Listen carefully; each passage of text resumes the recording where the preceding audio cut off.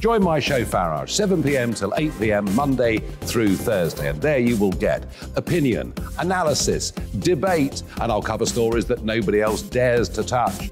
You've been cancelled. Join the club. Oh my goodness me. And then for the last 15 minutes, talking pints. We're over a drink. We have a civilized conversation with someone. We very often disagree, but we do it in a grown up way. Come and join me on Farage.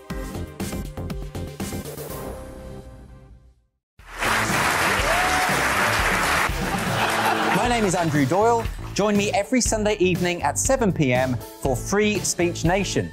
This is a show where we address current affairs and news stories of the week with the help of two wonderful comedian panelists. I brought in comics because I want to give it a lighter edge and also they work for less. See you there.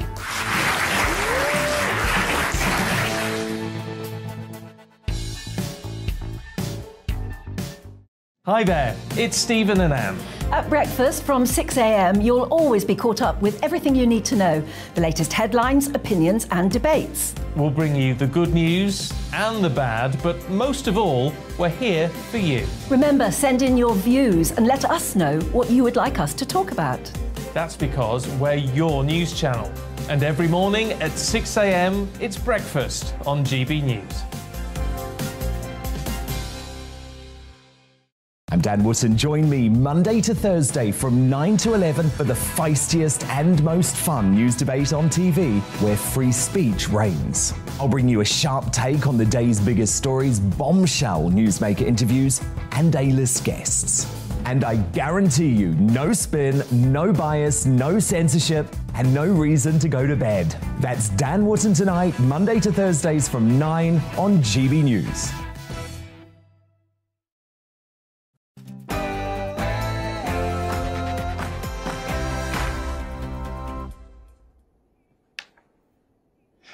Welcome along. Great to see Tony Abbott with Nigel. I reminded him of my plan. Commonwealth citizens can sit in the House of Commons and they're eligible to serve in cabinet. And I said he should be the Bonar Law. Uh, Britain's only Canadian Prime Minister. He should be the Bonar Law of the 21st century. Tony Abbott for PM. I'll be interested to see what the Tory membership make of that. They don't seem terribly warmed up to uh, the present choice.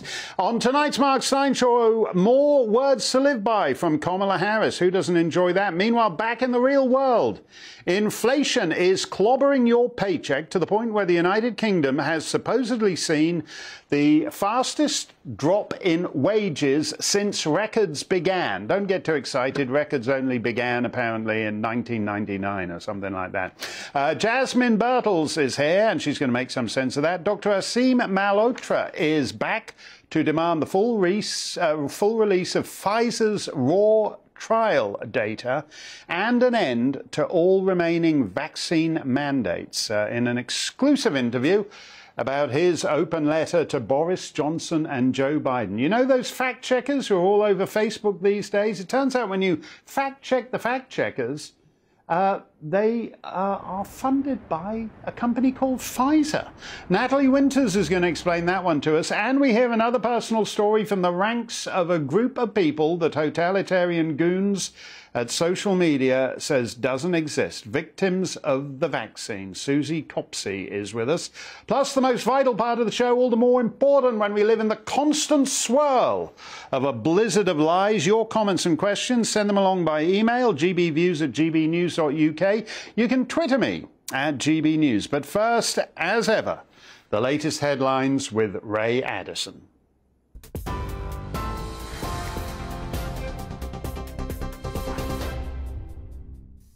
Thanks, Mark. Here's the latest from the GB Newsroom.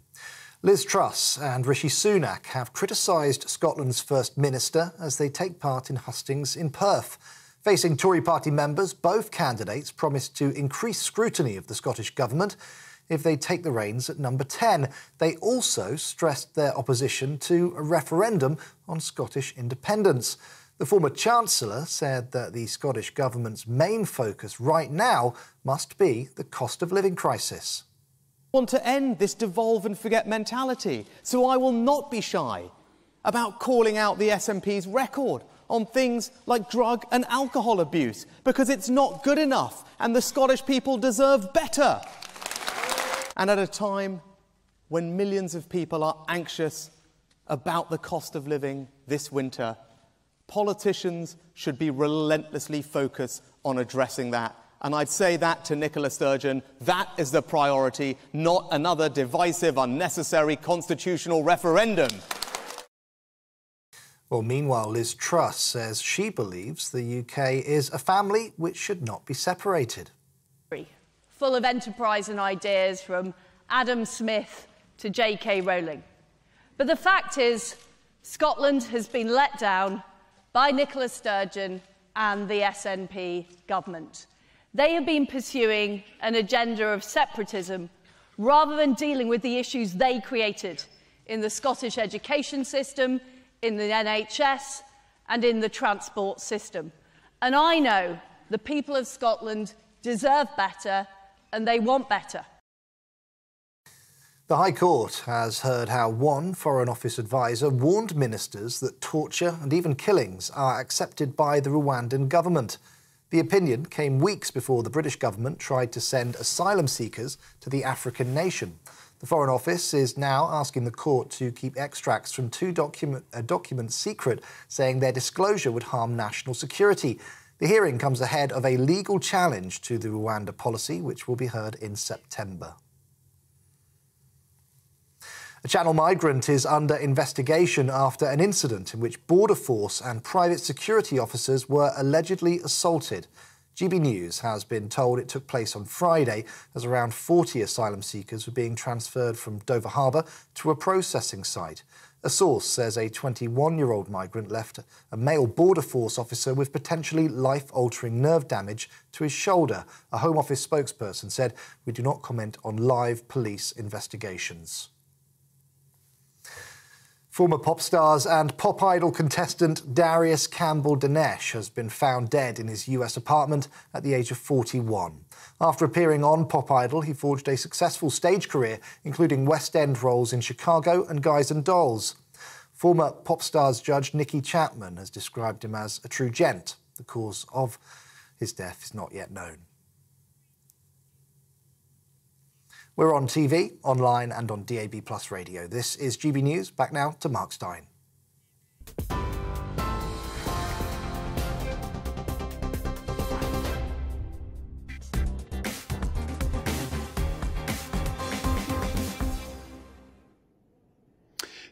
Cause unknown died suddenly. Uh, there's a lot of it about, and you'd think people might be more interested in why there is so much of it about. Thank you, Ray. These are troubling times, as you'll know if you've seen your electric bill. Fortunately, the finest minds in our political class are working on our problems day and night, night and day. Ladies and gentlemen, the purported deputy leader of the free world. We know that we really are quite behind in terms of maximizing our collective understanding about how we will engage on the technology of today and what we can quickly and easily predict will be the technology over the next decades. Hallelujah! Thank God someone finally has the guts just to drop all the flim flam and say it. Uh, in case you didn't catch what she was saying, she said, We really are quite behind. And more than that, we know we are quite behind at maximizing our collective understanding about how we will engage to easily predict what will be the technology over the next decades. That's it. She's nailed it. There's plenty of people, Jacinda Ardern, Keir Starmer, who share our collective understanding about how we will engage, but do they maximize it? I don't think so. You shouldn't even begin to attempt to engage, no matter how well you may collectively understand it, if you don't even recognize how totally behind we are at maximizing it. At this point, I usually stick my hand up and ask, uh, what's the capital of Saudi Arabia? But the purported deputy leader of the free world wasn't done yet. So, to maintain our position as the United States of America on this issue, it is critical that we work together to understand where we are, to recognize and have the courage to speak truth about what is obsolete, and then to partner to ensure that we are speaking the same language with the same motivation, inspired by the opportunity of it all.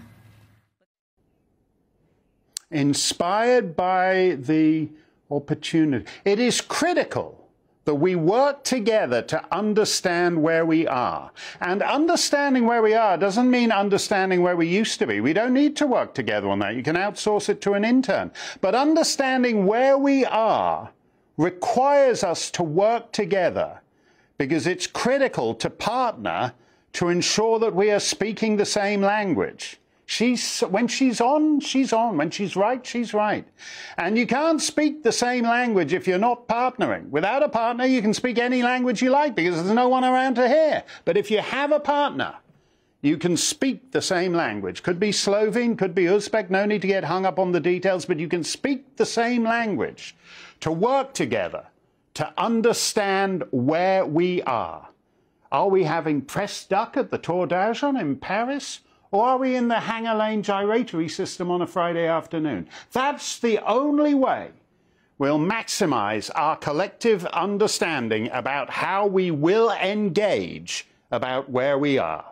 Oh, I know what you're thinking. You're thinking, is our entire political discourse just one almighty leg pull? No, not at all. Kamala Harris has hundreds of staffers and a full team of writers. And they wouldn't put her out there in public saying stuff like that if they didn't think it reassured people that she's just the person to take over from Joe Biden a couple more cases of rebound COVID down the road. Meanwhile, back on planet Earth, how about the critical importance of maximizing our collective understanding of how we will engage with what they used to call the economy? The headlines are getting more and more doom laden. The Times Look at this record fall in real UK wages. Uh, let's have a look at the Express. UK wages fall to new low. Uh, more pay to come. How about the uh, our old pals at the BBC? What have the Beeb got to say? Inflation drives fastest fall in real pay on record. Inflation is currently at 13 percent. Have you been offered a 13% pay increase? I don't think so. So what's going on? Jasmine Birtles of the Money Magpie joins me. Jasmine, every time we talk about this, mm. uh, it's it's not quite. Even if we are in recession territory, it's not quite like a normal recession. Here we have a mm-hmm. tight labour market. Uh, there's very few workers. Uh, mm-hmm. you know, pubs and restaurants are just opening. You know, Thursday, Friday, Saturday, Sunday because they can't get any staff for the mm-hmm. rest of the week. Uh, and that would normally mean that wages would be going up. Mm-hmm. Absolutely, yes. And, and I think many employers, if they could, would be doing that. Mm. Um, but then many, many employers, particularly if they have a, a shop or you know some sort of physical um, mm. operation, um, they have many, many other increasing costs, particularly energy, of course, petrol, etc. So the difficulty, I, w- I was just speaking to a hotel manager mm. this morning, and he said that it's very, very difficult for them to get basic workers, certainly um, who would be on uh, the living wage because they don't see why they should do the actual work for that kind of low pay. And you can see where they're coming from, of course. Mm. So we do have this difficulty for many businesses where they, they would like to pay more in order to get the staff, but they feel that they can't at the moment. But are, are, we not in danger of being back in a 1970s moment where, mm-hmm. uh, oh, 13%, yeah, we'll increase your pay 13%. Mm-hmm. Oh, but wait, inflation's gone up to 20%. Yes. Uh, so we're going to, now you're behind again. Are mm-hmm. we getting, mm-hmm. are we likely to wind up stuck in that? yeah, and th- this is, this is the problem with, with rampant inflation where, where you have, say, for example, the, the train drivers, I mean, understandably, like that anybody would want to have um, a pay increase to keep up with inflation. Mm. If they get it, that is going to increase the price of train tickets, which will then in mm. turn mm. increase inflation. Yeah. You know, and so it spirals. And so you have places like you know, Turkey with 80% um, inflation. You've got Estonia with 22% inflation.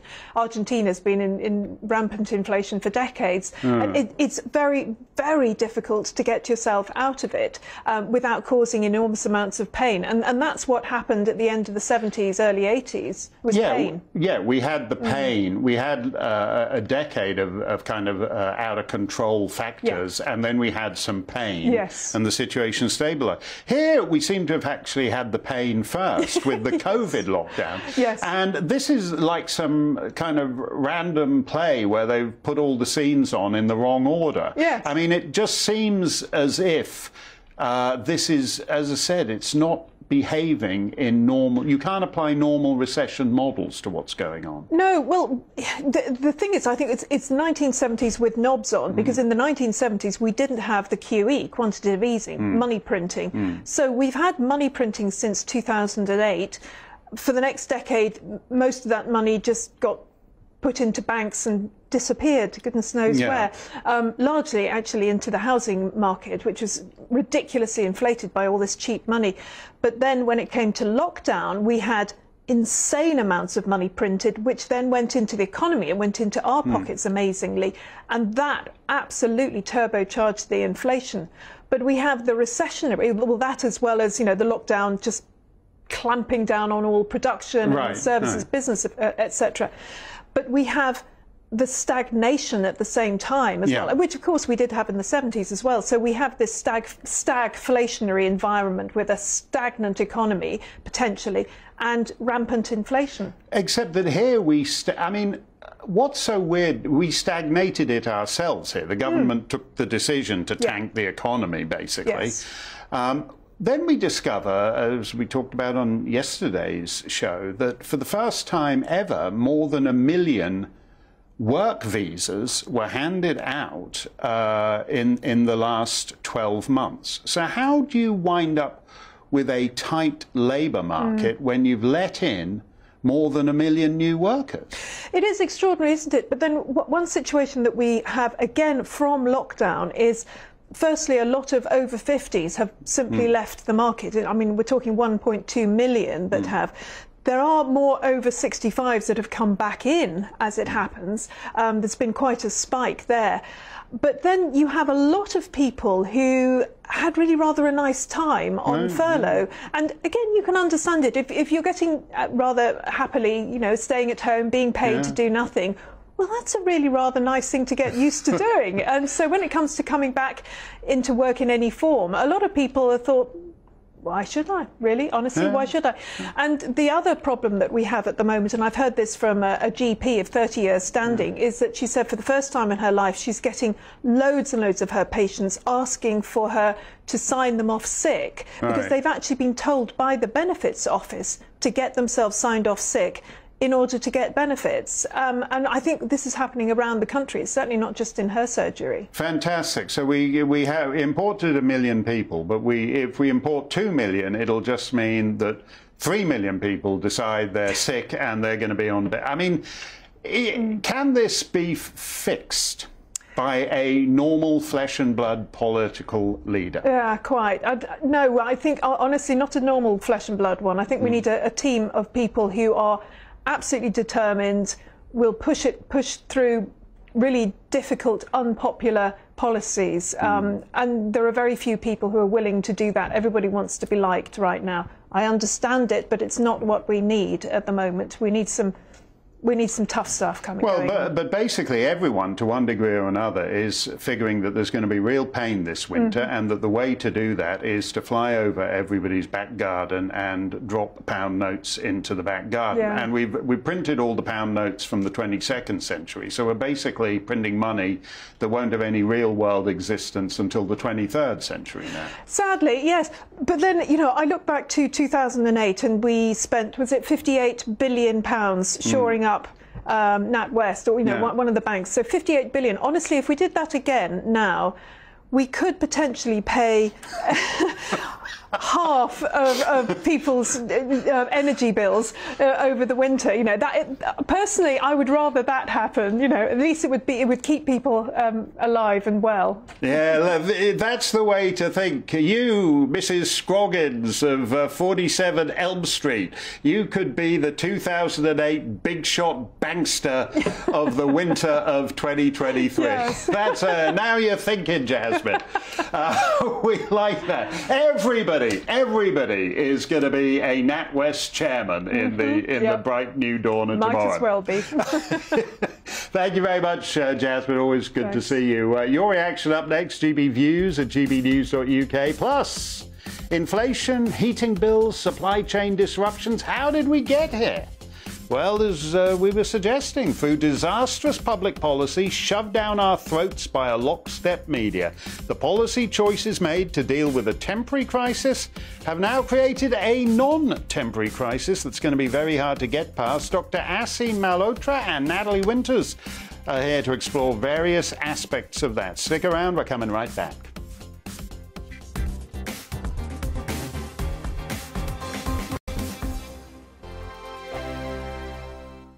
Join my show Farage, 7 pm till 8 pm, Monday through Thursday. And there you will get opinion, analysis, debate, and I'll cover stories that nobody else dares to touch. You've been cancelled. Join the club. Oh my goodness me. And then for the last 15 minutes, talking pints. We're over a drink. We have a civilized conversation with someone. We very often disagree, but we do it in a grown up way. Come and join me on Farage.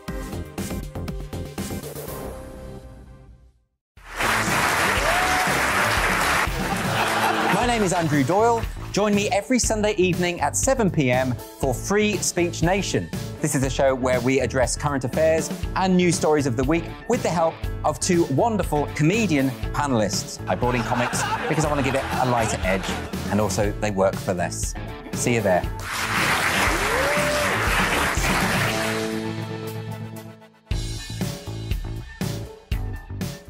Hi there, it's Stephen and Anne. At breakfast from 6am, you'll always be caught up with everything you need to know the latest headlines, opinions, and debates. We'll bring you the good news and the bad, but most of all, we're here for you. Remember, send in your views and let us know what you would like us to talk about. That's because we're your news channel. And every morning at 6am, it's breakfast on GB News. I'm Dan Wootton. Join me Monday to Thursday from 9 to 11 for the feistiest and most fun news debate on TV where free speech reigns. I'll bring you a sharp take on the day's biggest stories, bombshell newsmaker interviews, and A-list guests. And I guarantee you, no spin, no bias, no censorship, and no reason to go to bed. That's Dan Wootton tonight, Monday to Thursdays from 9 on GB News.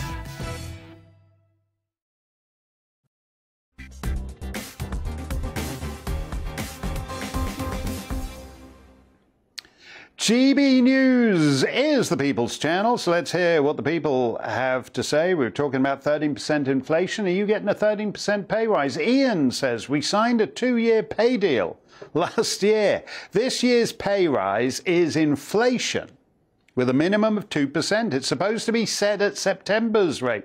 Oh, you have uh, landed with your bottom in the butter, Ian, because by September, inflation will be whatever it is, 27%. But uh, Ian says, uh, will be interesting to see if the company honours it or not. Aye, there's the rub. Barry says, Welcome to Brexit Britain, a place where if you are gullible enough, you can actually vote to make yourself, your family, and your country poorer. You should have uh, followed what Jasmine was saying, talking about uh, inflation is far worse in Estonia. Which is in the European Union. Inflation is far worse in many uh, European Union uh, countries. So, oddly enough, voting stay in the European Union, it's, odd, it's almost as if, however you vote, you're making yourself poorer these days. You want to look at the big picture here, Barry. Padge says, I'm a self employed fishmonger.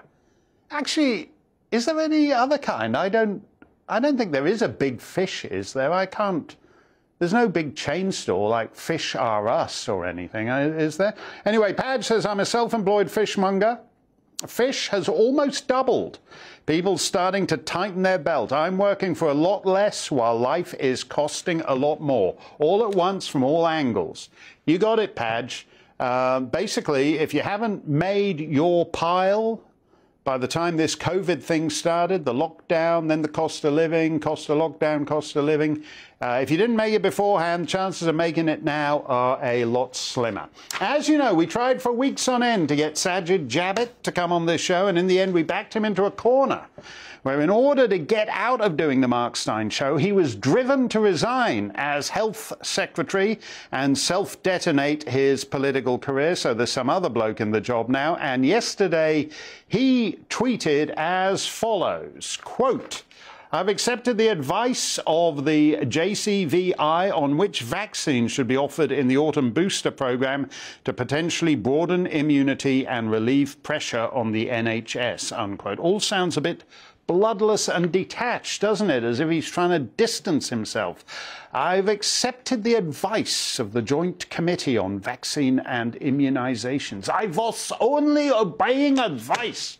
Sorry, pal, doesn't work like that. You're Her Britannic Majesty's Principal Secretary of State for Health and Social Care.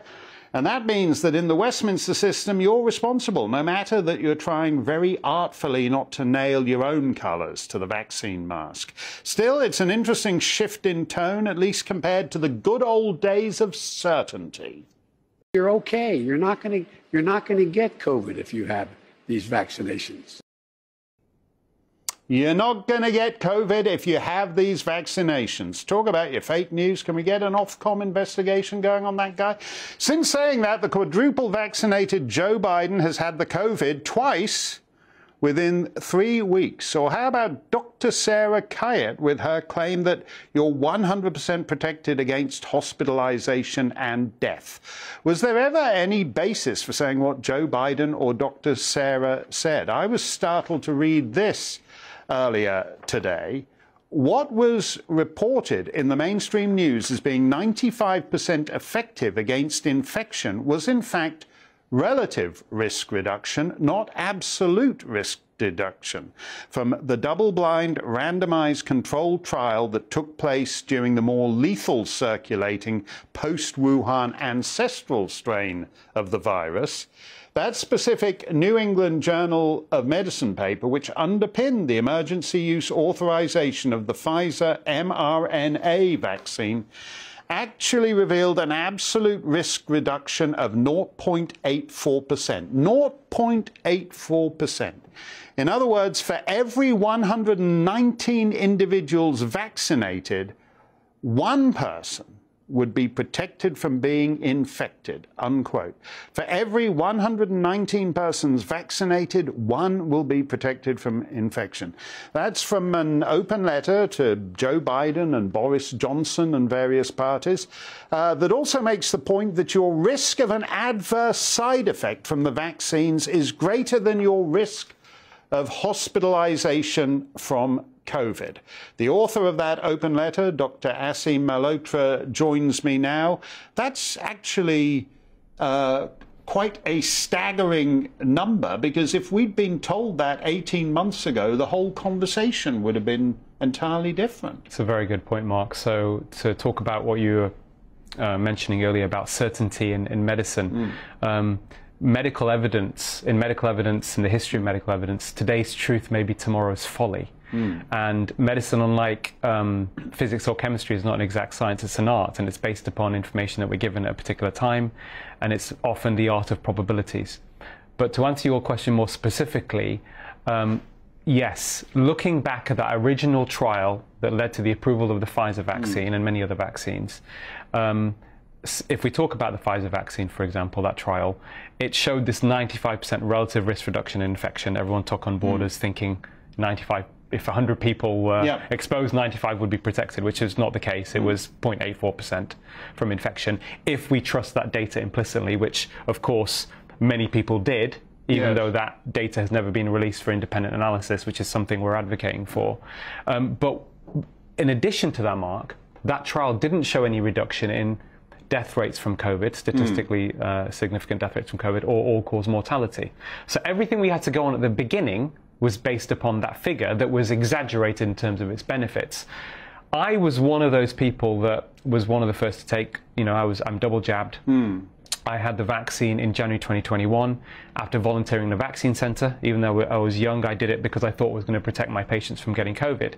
And, um, you know, the information has evolved since then considerably. I've spent many months critically analysing data, speaking to many eminent scientists in Oxford, in Stanford, in Harvard, speaking to Pfizer whistleblowers, uh, and critically looking at that data in, in its totality. And uh, the situation has very much changed. So now we have, uh, uh, you know, we talked about the this was. You know, in reference to the uh, ancestral strain of the virus, which was much more lethal, and it was certainly, especially for the elderly, it was awful. Uh, certainly, in 2020, what we experienced then.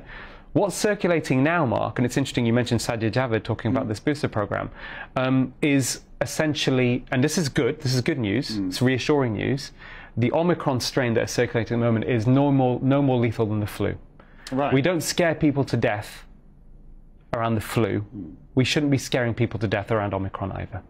But, but one of the things you talk about is the loss of trust. I mean, we have seen that the, the take up, uh, for example, of the in, in America, they're, they're, uh, you're supposed to get your six month old boosted, but apparently I think it's only 11% of parents of children, uh, and that's ha- have taken their kids to get these things. So, so th- th- these vaccines are declining in popularity Yeah. Because there's a lack of trust in what the experts say. Now, when you talk about that, you know, uh, that one in 19 people uh, will be protected from uh, infection.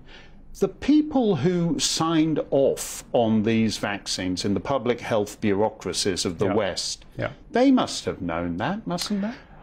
Mark, I wouldn't say necessarily they did. I mean, I've spoke to very senior doctors, leaders uh, in the last few weeks. I've been giving lectures. I actually gave a lecture um, only a few weeks ago during the BMA annual conference. Uh, and attending that conference were senior doctors, leaders like the chair of the BMA, the president of the BMA, the deputy chair of the BMA. And uh, they were quite shocked with some of the information I was sharing with them. So, for example, uh, one very senior NHS leader was shocked to learn that the regulator that, leads, that approves these vaccines, the MHRA, receive 86% of their funding from the pharmaceutical industry. He didn't believe it, actually. And then the BMJ exposed that only shortly afterwards. Uh, and, and, and, they, and they were also saying to me, it was interesting, I had a conversation with, with one of these NHS leaders, um, and he said to me, he said, Aseem, I don't think many uh, people in these roles Yeah. who are promoting the vaccine are critically appraising the evidence themselves, and they are getting most of their inf- information from the BBC. Now, Yeah. this is not unusual because Rochelle Walensky, the former chair of the CDC, actually admitted not so long ago her optimism for the vaccine came from a CNN news report, which Paul Thacker, uh, investigative journalist, basically exposed as being almost a an identical. It was a, it was essentially the press release of Pfizer that was a CNN news report. So And this so, is quite. so yeah. Pfizer write the press release for the CNN guy. Uh, somebody in the public health bureaucracy of the United, the most lavishly funded public health bureaucracy, watches the CNN news report and thinks, "Oh, everything's hunky hunky dory." Do you, but the, the problem here is that when you say like the the regulatory body in the United Kingdom, the Medical Health and Regulatory Agency (MHRA), is 86% funded by big pharma. Now. 50 years ago, when everybody was worried about lung cancer from smoking, and if you had said, oh, yes, we've got our, our uh, Ministry of Health is 86% funded by uh, Philip Morris and the big tobacco companies, people would have leapt up and said, this is crazy. Why aren't they leaping up now? I think because they don't know it so much, Mark, and that's important that we have these conversations and we're getting this message out to, you know, hundreds of thousands, if not millions of people, and. Uh, that's the main reason people aren't aware. So I, what I say is to paraphrase Noam Chomsky, the uh, the American economist. Uh, the doctors and the general population do, don't know what's happening, and they don't even know that they don't know.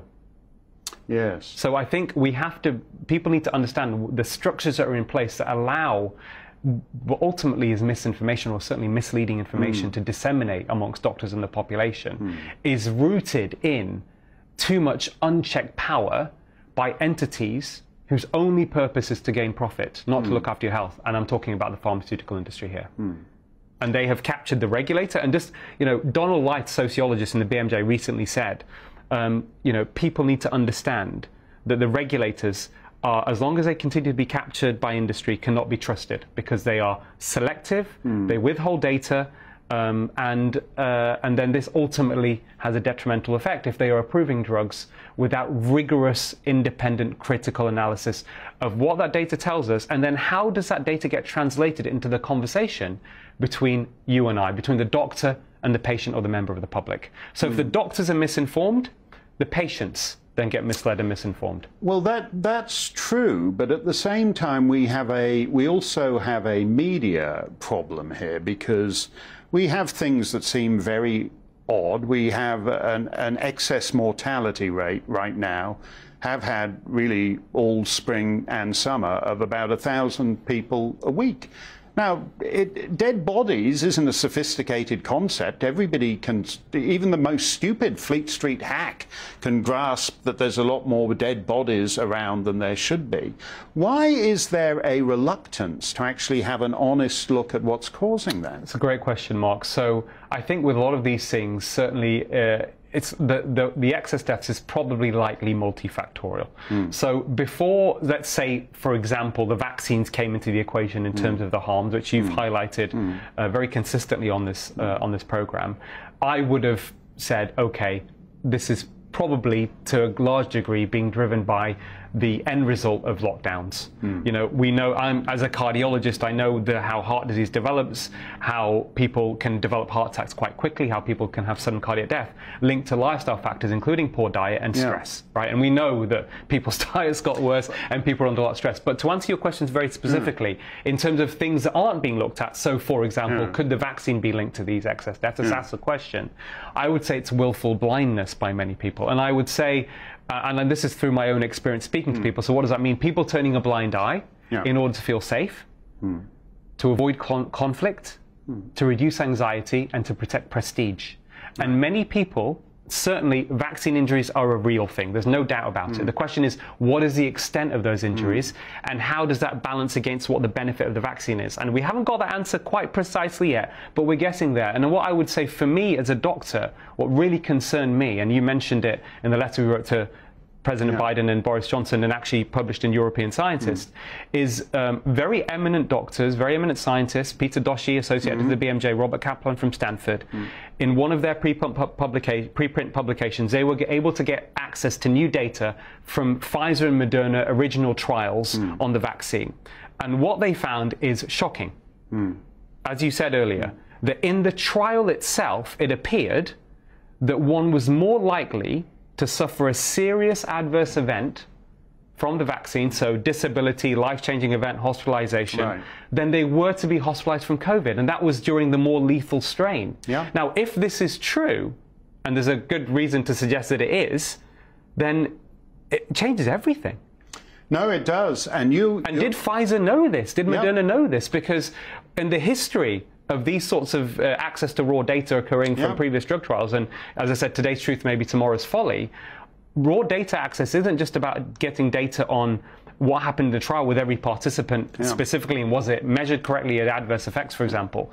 It also involves getting access to internal emails yeah. between executives in the, in those companies, and we need that now because yes. you know the, there is a lack of trust. We've got yeah. reduction uptake in boosters. This is not good. It's not good for other public health interventions, and I think the way around this is let's have an honest conversation with with the public first and foremost we to some degree were misled. Things have changed. Mm. Okay, we have to change with the evidence. Mm. But also, it's imperative now that we get that raw data released, yeah. so it's independently analyzed, so people can trust.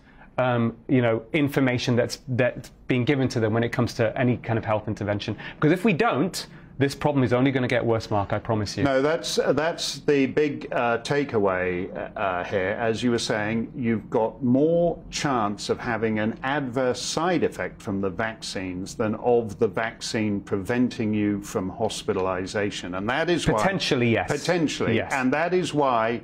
We need to see everything from Pfizer, Moderna, AstraZeneca.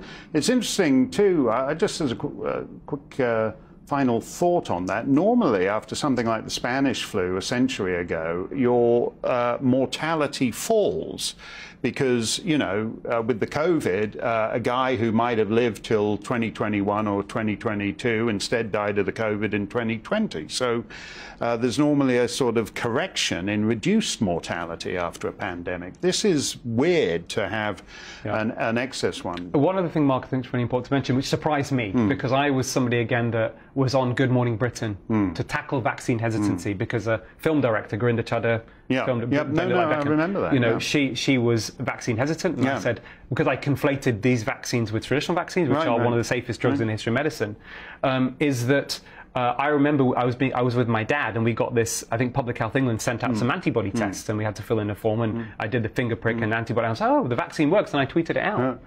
And then I recently discovered, and people can look this up, the FDA since May 2021 on their own website have stated that there is that this is an unreliable surrogate. Antibodies are not reliable in terms of telling you whether you're protected uh, from uh, infection or protection from COVID, especially after COVID 19 vaccinations. Right. That's extraordinary. Right. Absolutely right. extraordinary. No, that, no, you're right. There are many strange questions and strange indicators in this whole thing. Thank you, Doctor. It is uh, always good to talk to you.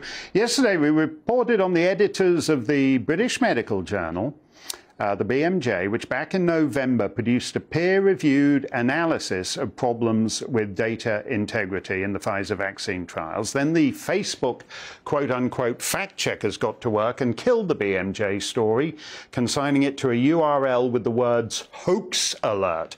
Fact checking is a phony baloney pseudo industry that has ballooned with the degeneration of the entire internet into a cabal of woke billionaires. Full fact, for example, is funded funded by those same woke billionaires. Anyway, that was yesterday. The story gets better.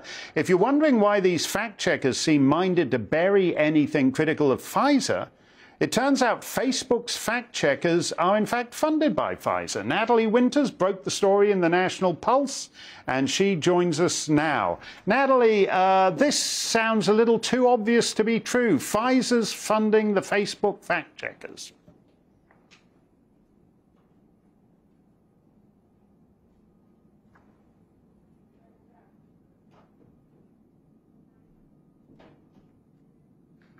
Hi, I don't think we can uh, hear you, Natalie, or at any rate, I can't hear you. If it's if it's just me, could someone switch Ma Natalie up in my ear? Oh no, we don't have her. Oh, okay, great. Okay, Stump the Steyn's looming. Uh, GB Views at gbnews.uk. Plus, uh, the list of vaccine victims gets even longer. We'll be hearing the story of 42 year old John O'Neill next, and we're going to try and get Natalie Winters back for you because it's, uh, it's never the same without Natalie. Don't touch that dial, we're heading right back.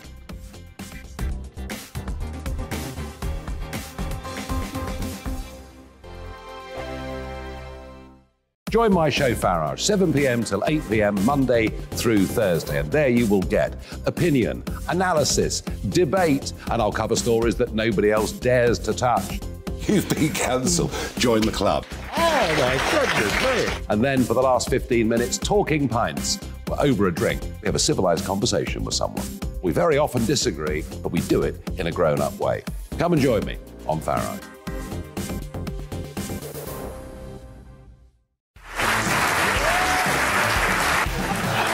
Name is Andrew Doyle. Join me every Sunday evening at 7 pm for Free Speech Nation. This is a show where we address current affairs and news stories of the week with the help of two wonderful comedian panelists. I brought in comics because I want to give it a lighter edge and also they work for less. See you there.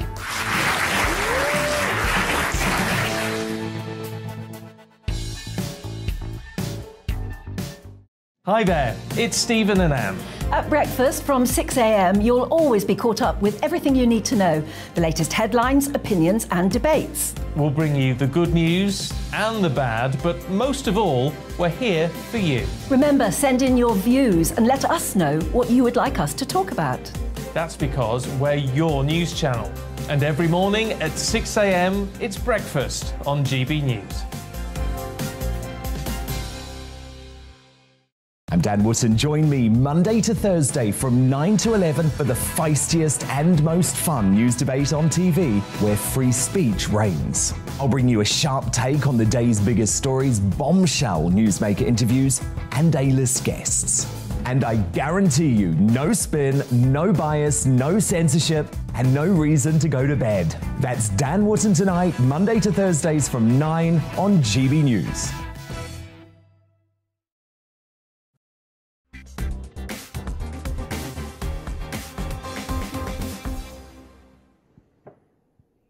We've got a new set of uh, two rusting tin cans with a piece of long string between them. So I think we can now go back to Natalie Winters. Natalie, uh, can this be true uh, that Facebook's fact checkers are funded by Pfizer? I think maybe Facebook and Pfizer are trying to uh, interrupt our audio connection because they don't want this information to get out. Yeah.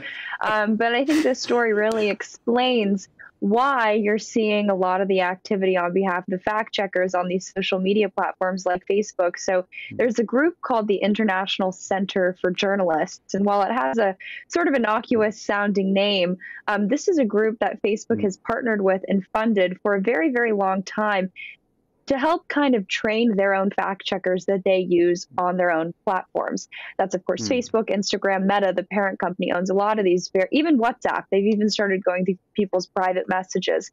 Um, but what's really interesting is that the most recent fellowship program launched by the International Center for Journalists believe it or not, its sponsor is actually Pfizer. So I dug into the really the relationship between Pfizer and this group, and it goes back to at least 2008.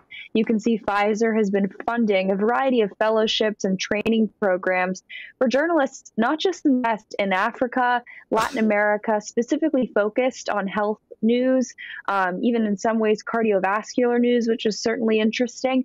Um, but if you read about these right. programs, they brag about how they have, have reached into a lot of mainstream media outlets. Yeah, it's it's very weird that, and uh, particularly as the Facebook fact checking, as with the British Medical Journal story, uh, seems very concerned to suppress stories that are not favourable to Pfizer. Well, what's particularly interesting about the group that suppressed that BMJ story, um, it's a group called Lead Stories. And this is an entity that we at the National Pulse have, have liaised with for probably over a year now. We first exposed them um, for not being this kind of independent arbiter of truth mm. that Facebook presents them to be. Their staff is actually entirely comprised of people who have donated to political candidates. All of them have gone to Democrats. Um, they also have over 130 yeah. years of journalistic experience at CNN, so that tells you where their bias is. But what's most interesting about lead yeah. stories is that one of their clients, the people who pay their bills, is TikTok, which is, of course, the Chinese Communist Party controlled app. And previously, uh, oh. when I worked with Steve Bannon's War Room show, we actually got the editor of that yeah. outlet to admit on air that he was, quote, very comfortable, that's a direct quote, with his relationship with the Chinese Communist uh. Party and being on the payroll um, of effectively an asset of that, you know, brutal regime. So that tells you about where there are so many conflicts of interest, whether it's big pharma or the Chinese Communist Party, these fact checkers um, are not conflict of interest free, even though they purport to be. No, th this just gets better and better. What a what a show! Thank you very much for that, Natalie. So uh, your fact checkers are are in bed with the CHICOMs, and your medical regulatory agencies are funded by the big pharmaceutical company. It's it's it's a it's not a complicated thing to look for. In the old days, when we had real investigative journalists. Uh, something like the Sunday Times would have been all over this. Thank you very much, Natalie. Uh, at GB News, we tell the stories of vaccine victims because very few other media outlets seem to want to do so. John O'Neill is a 42 year old man from Essex. He has a wife and two young children.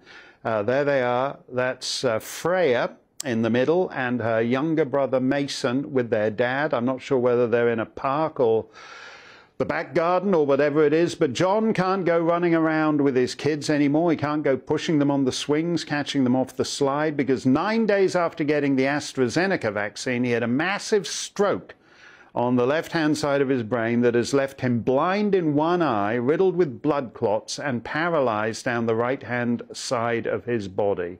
Uh, he also has aphasia.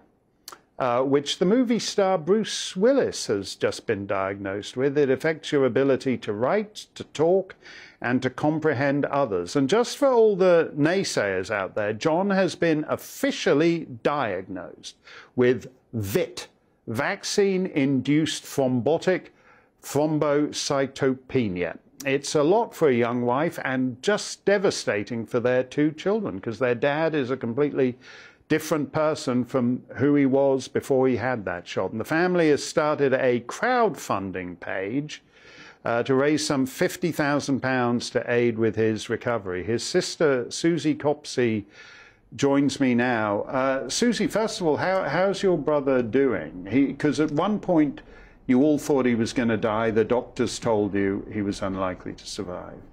We did, yeah. We were really lucky that he mm. actually came through this. Um, but obviously, with the extent of the brain damage that John suffered, there isn't going to be a full recovery. You, mm. you cannot have a full recovery from it.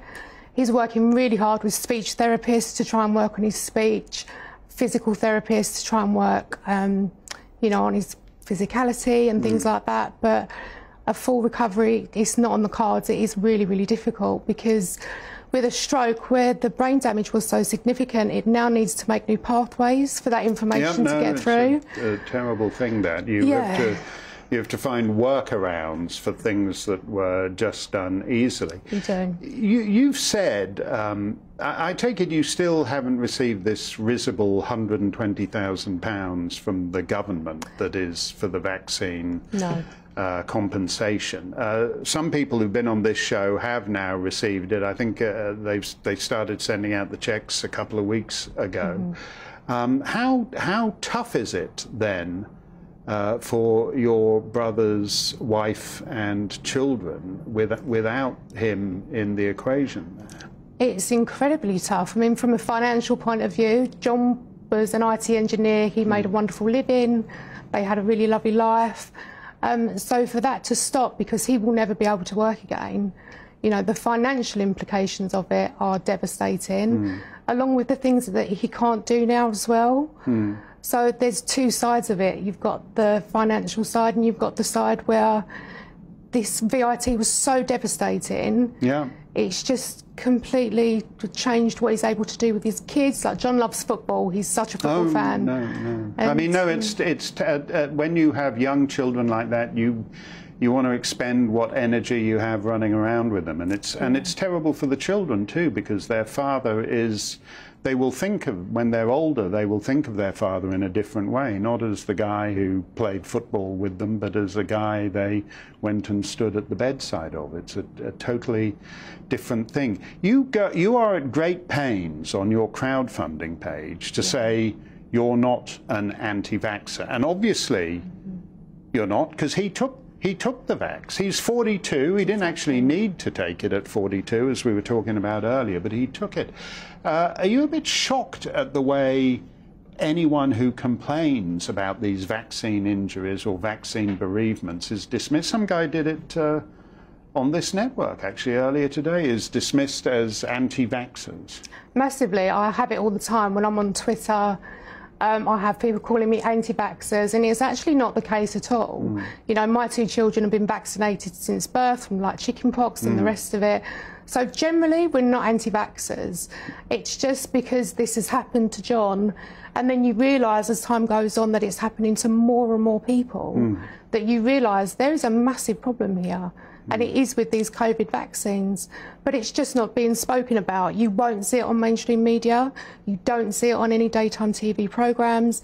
We've contacted, you know, many programs, magazines, everything mm. as a family, and no one will cover it. So, um, no, that that's a shock, and it's not just that, but it's that the the the telly the telly doctors, these nice, cosy, friendly people mm. sitting on the sofa uh, tell you it's 100% uh, safe, effective, preventing hospitalization, preventing death. Your brother nearly died. Yeah. Is, is, there, is there a kind of bitterness about having, if he hadn't gone along to the clinic and got that shot that day, that fantastic young dad playing with his kids would still be around. It's really hard. I think one of the hardest things was, I mean, John really researches everything, mm. you know, is a really intelligent guy and really looks into everything. And he had concerns. Mm. He was concerned. He'd heard about these clots. And he actually said to his wife, you know, I am concerned about this. What we'll do is I'll have AstraZeneca, mm. you have Pfizer, and then if anything happens, there's one of us left for the children. That's that's uh, sadly was exactly what happened. That's that's like incredible. So he actually, because that's like the royal family, not all flying on the same plane. So he actually thought, well, in case anything happens, one of us will be around. Yeah, but then at the same time, you always, you know, you don't actually believe it's going to happen to you. There wasn't, even though it was heard of that there were clots, it mm. wasn't very well spoken about. So you do think that it is just a one in a million thing and that it's not going to happen to you. No, well, this is why we need to have a more honest conversation. The last two years have been terrible, and Susie's brother uh, is actually a victim of that kind of closed, shut down, lockstep media. It does nobody any favors. And the, and the treatment that you guys get when you mm. go on Twitter. It's like people think you're some crazy paranoid conspiracy oh, theorist. I've had the lot. I've had, mm. you know, you're an anti-vax. No, mm. we get comments like he completely deserved it for taking the clot shot. It's, uh, it's, it's tough. But it's so important that his story gets out there for so many different reasons. Yeah. I mean, yes, number one, I'm fundraising for John because he yeah. needs the money to pay for his therapies. And that, and that have, have, you applied for this vaccine payment from the government? So it's not me personally. So John and his wife, yeah. they've applied for it. As far as I'm aware, they haven't had it yet. Um, but going back to sharing his story and why it's important, mm. like I say, yes, I'm fundraising because he needs the funds to pay for his medical no. bills. And it's also things like raising awareness of what the symptoms of VITT are. Yeah. It's not about being anti-vax. You know, if we can raise awareness of what the symptoms are and we can save another family from going through it, you know, that would be incredible. I don't want anybody, any other family to go through what we have. No, it's a, it's a terrible thing and it's heartbreaking to look mm. at that, I, you, that photo of John with his two young children playing with them. 42 years old, in good health, and the remains of his life are going to be very different. Thank you so much, Susie. Thank you. And do give our best to John and his family. And if you want to help out, you can uh, go and find out uh, uh about the crowdfunding thing. A quick search of Susie's name will bring you to it on the internet. Uh, that'll do it for us. Uh, Dan Wootton is here for the Killer Late Night Show on British telly. What you got, Dan? Mark Steyn, it's one of those days where I think, has the world just gone completely and utterly bonkers? The RAF no longer hiring white men. Well, what does uh, yes. Conservatives Against Racism's Albie Amankona think about that? He's here. Plus, Edinburgh Festival now buying into the cancellation of comedy. Jim Davidson will mm. react, and Mark Tony Blair uh, yeah. trying to muzzle us again, say that the entire population must be boosted to save the NHS. Why doesn't he just butter oh, our, our lives God. once and for all? so we're covering all of that today. No, that's. I can't wait for that stuff about the RAF. I think of all those dashing pilots in books I read as a boy with their handlebar moustaches, and uh, nobody wants them anymore. It's, uh, it's very sad. Great stuff, Dan. All coming up after the weather. Stay safe, stay free. Hello, I'm Aidan McGivern from the Met Office. We've certainly seen some lively weather during the last couple of days, and showers will continue in places during the next 24 hours. Although it is turning drier in the north as an area of high pressure starts to build in. That's settling things down for Scotland, Northern Ireland, and Northern England. That dry weather is on the way south, but uh, low pressure over the channel is maintaining some showers and even some thunderstorms heading into the evening and overnight. So further heavy downpours, hit and miss. Not everyone will catch one of these, but where they do occur, well, it could be some tricky conditions on the roads, could be some surface water flooding, for example. It's 15 or 16 Celsius in the south, much fresher further north where skies are clearing for Scotland, Northern Ireland and Northern England as the night goes on, and then a sunny start for many in the north Wednesday morning. Still some areas of rain or showers across central and southern England as well as South Wales. And then, really, the risk of some torrential downpours across southeast England, East Anglia in particular, by the afternoon. 24 Celsius in the southeast, so turning progressively cooler, and we're looking at high teens, low 20s elsewhere, although a pleasant day to come with light winds and plenty of sunshine for Scotland, Northern Ireland, and Northern England. The clear skies don't last long in the north. It turns cloudy by the evening and some rain returns to western Scotland and Northern Ireland, although most of this is light to moderate, so not causing any real issues. Showers in the south fade away overnight. Still one or two about first thing Thursday, though, and a warm start, 15 or 16 Celsius. A, a, gap there across central parts of the UK as we begin the day on Thursday, some sunshine.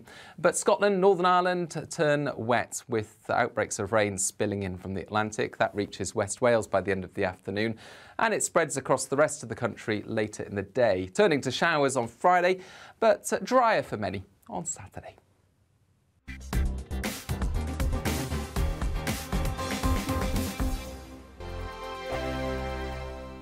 Join my show Farage, 7 pm till 8 pm, Monday through Thursday. And there you will get opinion, analysis, debate, and I'll cover stories that nobody else dares to touch. You've been cancelled. Join the club. Oh my goodness me. And then for the last 15 minutes, talking pints. Over a drink, we have a civilized conversation with someone. We very often disagree, but we do it in a grown up way. Come and join me on Farage.